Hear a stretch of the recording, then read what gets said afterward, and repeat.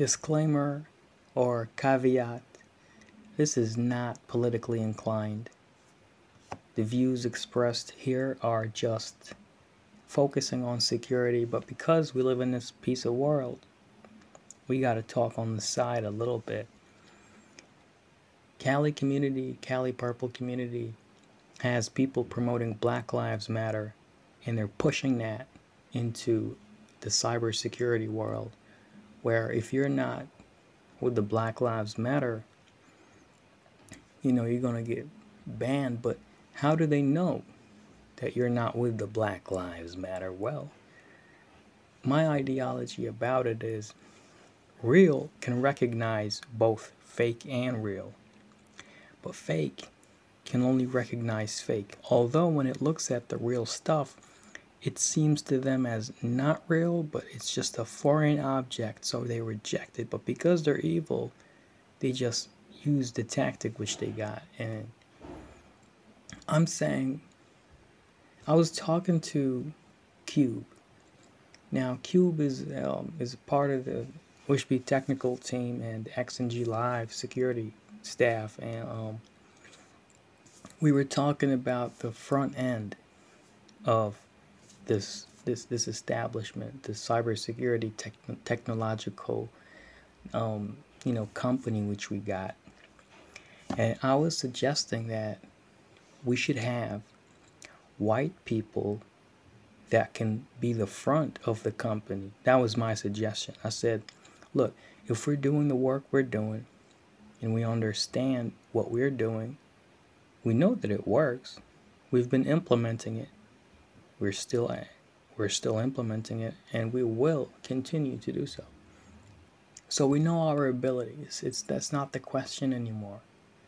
But we still need to engage with the world sometimes not just in a cybersecurity aspect but just because we like just like we see Kali guys doing black lives matter i mean this thing seems like you can't escape it. So i said look we need to engage in, in, in, in a social maybe somehow political way. I said, look, let's bring white people. And they will become the front face of the company. So the founder will be white, the co founder will be white, the management, the secretary, the administration is all white.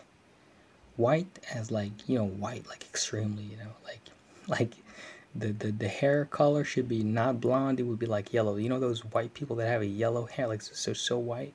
Like the Danish people, Denmark, yeah. So I said, like, I'm just, you know, I just put that exaggeration there as a joke, but I said, let's have white people come work in the company so we can at least engage with this world because we feel like we're, you know, like we're like we're like like like shackled. You know what I mean? He said, "No, man, that's racist. How can you bring somebody that's white? You're hindering me, and you're you're taking my power and my effort, you I will never be somebody. And the first click in my head, I mean, like it dawned at me, like, why do you think you will never be somebody? That means now, Q, you're linking your success to fame. Because what is the front end? The front end is the public image. The public image what receives the most reception and it's the commonly known. So if you're you're you're like you feel like if you will never be public then that's failure means you're looking at success as what? Fame. You're looking at fame as success and if you want to be successful you got to be famous. And in order for you to be famous you got to be successful. I'm here saying that doesn't matter. Success has nothing to do with fame has nothing to do with the public image but even with that, he's kind of arguing like, yeah, but that you you have a hundred year old mentality, like a hundred year old guy mentality, like a classic old, you know, ancient, primitive mentality where you can't accept the fact that blacks or dark skinned or non whites can do whatever white people can do, and that this is just like not the mentality to go about it. Well, I'm here saying it's not us who are racist. And it's neither the white people that are racist. It's the guys in between, it's the masses that are racist, that won't never accept anything if it's not coming from a white person. Like, I have this friend, and I asked his permission to, to, to talk about his uncle. Now, I will not say who is this friend, but he also works with X and Ushby. And he has an uncle. Well, he's from Iran. And he has an uncle, right? His uncle is trying to invent a free energy generator. A generator that takes the energy that is already available around it and just just produces it in, in an energy that like an energy that we can consume. As if energy is, is already around us so we don't need to take a specific material. So and they sent this guy to psychic care. They accused him of being crazy. They took him to rehab just because he was smoking hashish. And his entire family is like against him. And i was just walking and thinking about this guy. And i'm like this man at a 50 year old age is trying to invent a free air generate free energy generator inside of a country like Iran with the type of dictatorship the type of ideology that is there with the neurosis that the people have that will never work but once I said it will never work it clicked it hit me I said he reminds me of someone and that person is me now, what an abundance, they say. That was the first time that I can see myself from the outside. That, that's the first time I observe myself as a third person. I never knew how it looks like to be me, how it seems like. But now I understand why people lost hope or never believed in my things that I wanted to develop. And the reason here is never, it, it was never about, it was never me that they didn't believe in. It's the people around me that they didn't believe in. And hence they said, your solution is not going to work. Not that I can't do it. I always thought that they looked at me as if I'm unable to do it. No. Now I understand that they looked at the people around me and how uneducated, ignorant, lacking will and determination and interest to, to ever apply the solution that I might come up with. And therefore, it will not work.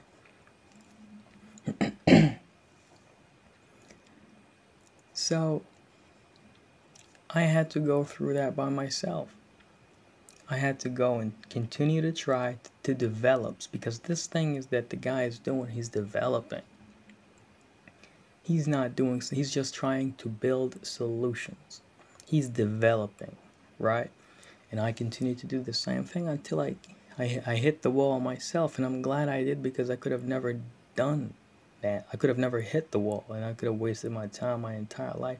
So I'm glad that I came to the conclusion that people don't want solutions. We don't need to build nothing. We already built enough of technology. The problem now has nothing to do with developing any more solutions because that has nothing to do with the problem that will never fix it. The problem is the people. But also the people has a problem. So now in a way, the people are right. Those that accuse this 50 year old man of being insane are right. The ones that accuse me of being insane are also right. By the way, I just got a diagnosis today from my doctor. He says I'm insane. I'll talk about that some other time. So, he they are right. He's insane. He will never like he shouldn't focus on it. It like motherfucker. people are right. I understood now that what really gonna fix it is it's like people like if he's trying to invent a generator means that he's trying to fix a problem. But what is that problem? What that problem is? People know that that generator won't fix their problem, so they won't accept it. So it's not about, and if you read my novel, I'm promoting my novel for the hundredth time, it, it speaks about this issue. It's not about what people want, it's about what people don't want.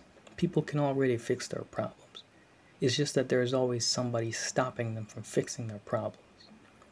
So what people want is security, and that's why I'm in this security field, in the cybersecurity field. People can fix whatever, whenever, whatever problem they got. They will always group up and fix it.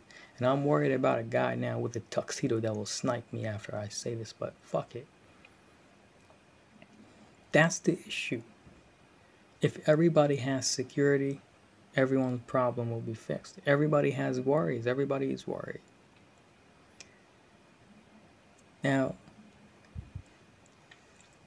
cybersecurity doesn't attack, and I'll never talk about how to attack. Like I got a guy one time, he was coming and asking me.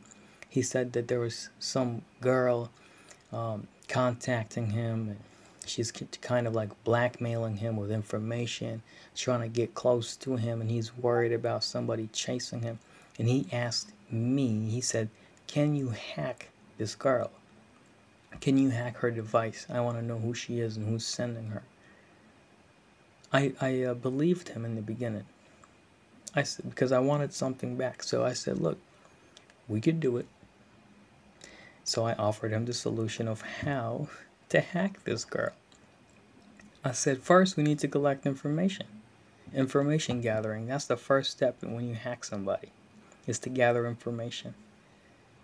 And in order for us to get this information, I gave him solutions which we can implement, kind of like phishing, since, since she was the one coming.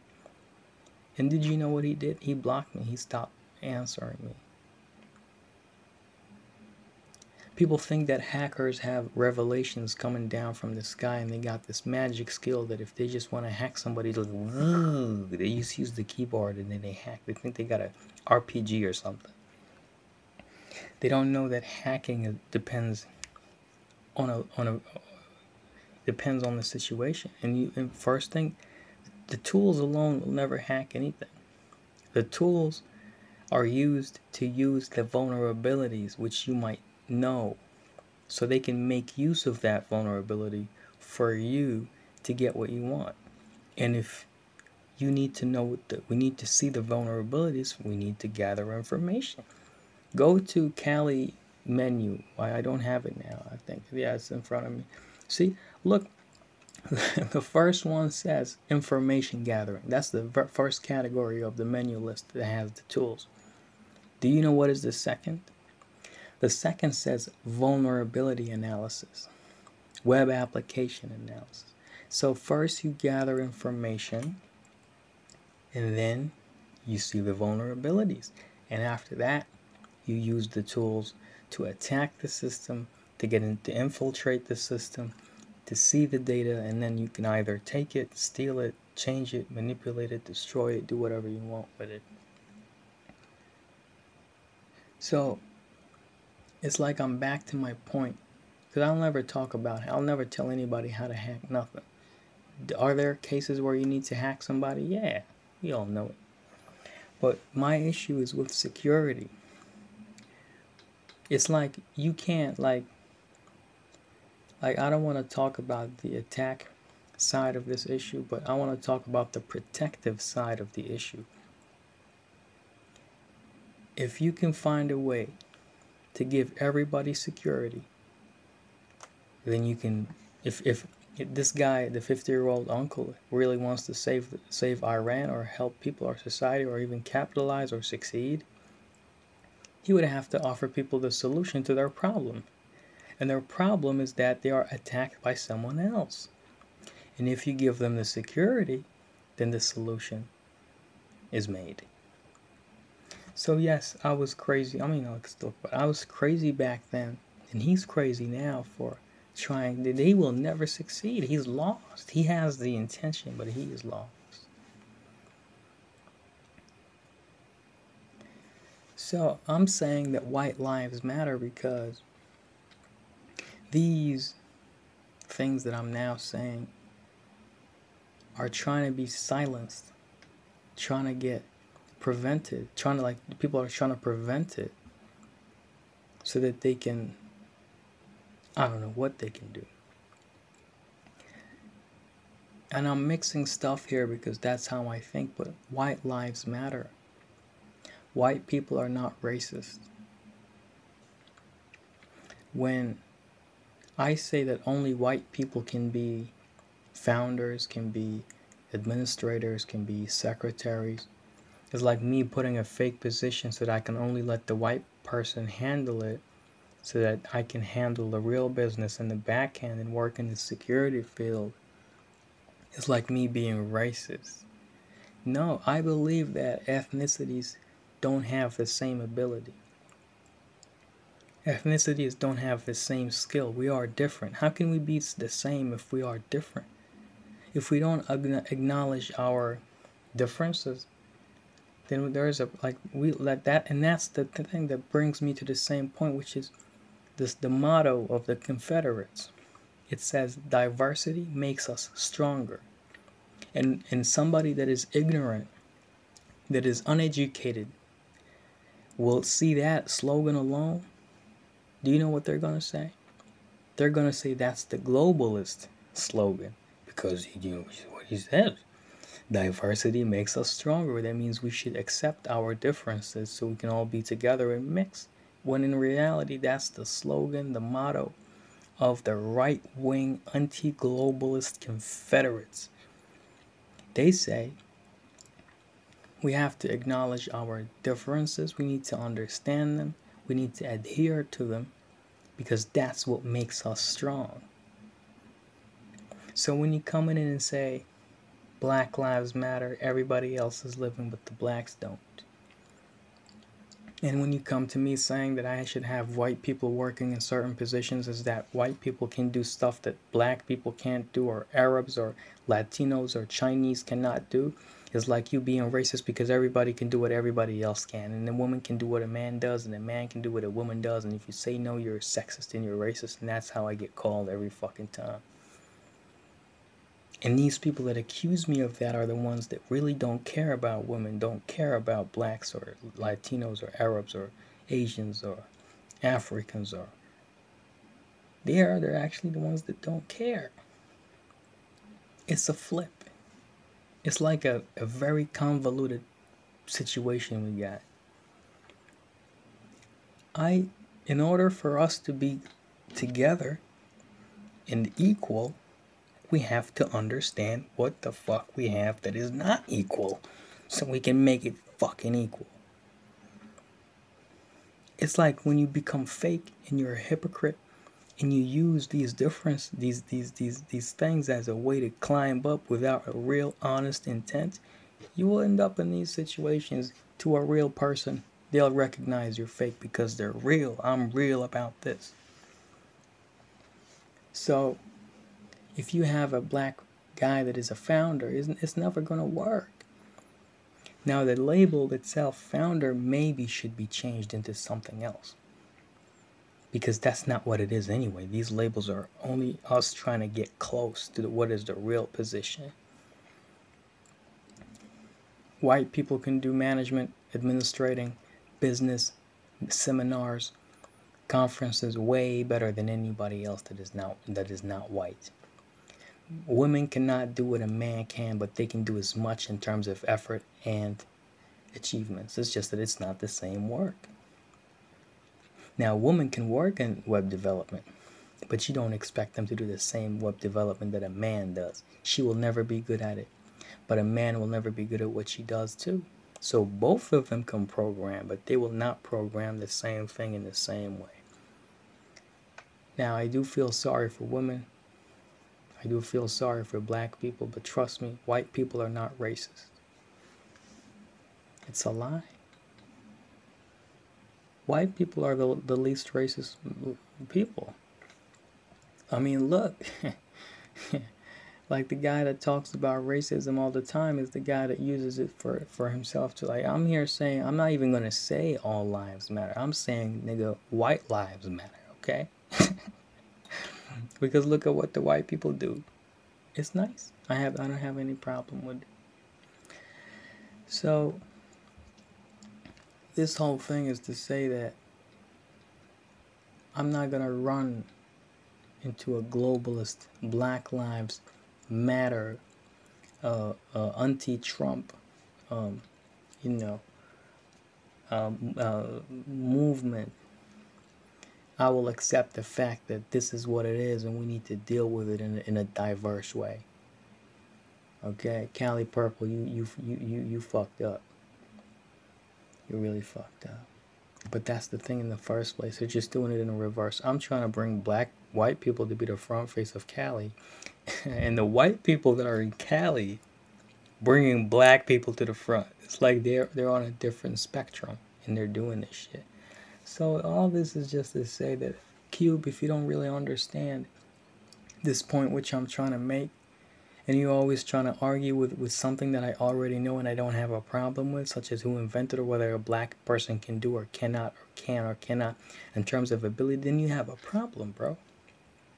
You have a problem that you don't want to understand the differences. It's not about the ability, it's the type of ability. It's not about the intelligence as an amount, it's about the type of an intelligence. Because what is intelligence in the first place? But even if, even if, let's just put this hypothesis out there, okay?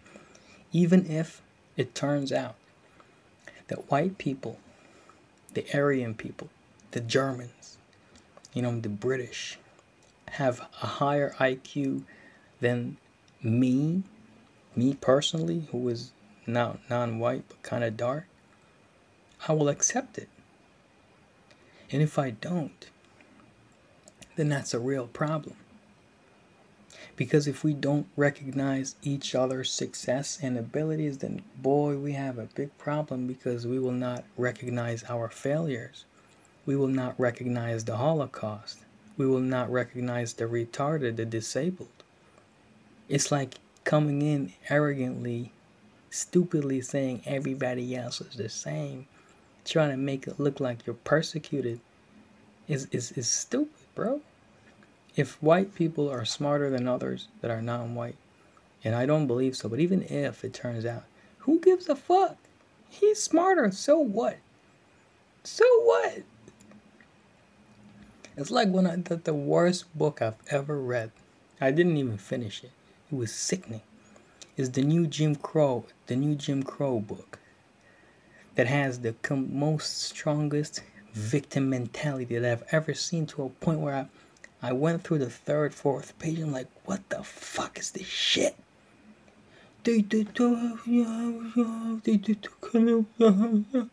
It's crying and gnashing. It's like, yo, this guy's making it look like everybody else just left whatever they want to do just to come and persecute this guy. This this is like and people still read that book, promote that book. Like listen man, we got to be clear. As you can see now it's 23 24 minutes I'm talking and I didn't mention any religion. I didn't mention any ideal ideology that is spiritual. I didn't attack any race in terms of actions. I didn't mention any politician. I didn't mention any, for example, a country. I'm just talking in concepts. Now, I did mention Kali and Kodachi maybe because I'm in the cybersecurity field. That's what it is. So, Ushby and XNG are going to have a team full of white people because white lives matter. Hashtag white lives matter. I'm with this stuff and I'm putting a hashtag. If you motherfuckers don't like it, then you know, I mean, you know, you know what? You, I'll, I'll let you finish that. Peace, dogs.